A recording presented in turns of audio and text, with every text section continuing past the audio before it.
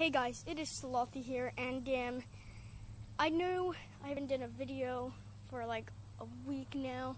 It's been a while, but like I said, I might be taking a break, and um, I did take a break, and basically, um, school did start, so I might not be uploading as much. It might only be on Saturdays and Sundays, maybe Fridays, like I said, and um, basically, this is a different type of video and um, no one better take my credit, but I might be able to post it on like Google somehow. I don't know how to post it, so stuff like that. Maybe I'll post it on Twitter or something and share it to some people.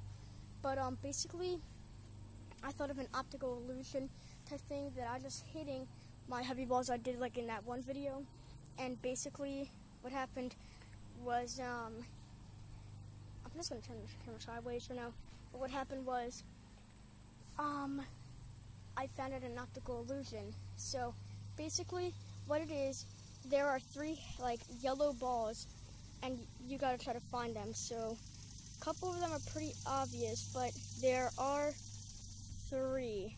So um, I should have said how many are in here, but you know, we'll just say there's three. So try to find three. So um, I know there's obviously one next to that soda can, so that's what they kind of look like. So um, yeah, I'm gonna try to post this on Twitter, or and maybe on Instagram, and um, try to share it to some people to get it out there, and maybe it'll be on a like optical illusion type of thing.